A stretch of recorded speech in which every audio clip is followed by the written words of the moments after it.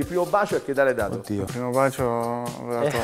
Oddio. Eh, non mi ricordo neanche più. Eh, vabbè, qua è personale. Come fai a non ricordarti il primo bacio? Eh, era 15-16 anni. Vabbè, ma l'hai dato? È ovvio. Sì, cavolo.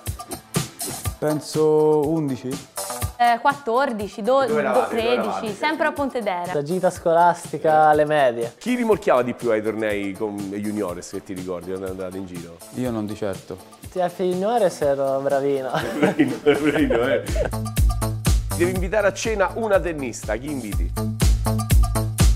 Vabbè, ce ne sono diversi. Eh, tipo?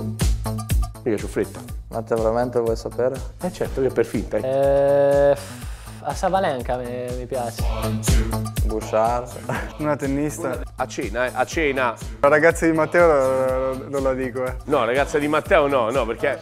eh, io non l'ho mai vista dal vivo, com'è? Molto bella, molto bella, molto bella. Un'altra, un'altra. La Diacenco. Un tennista italiano che inviteresti a cena? Dio, Marco è un po' geloso, eh, è un po' gelosino, sì. Vabbè, dai, una cena. Però ce l'ho, Pietrangeli.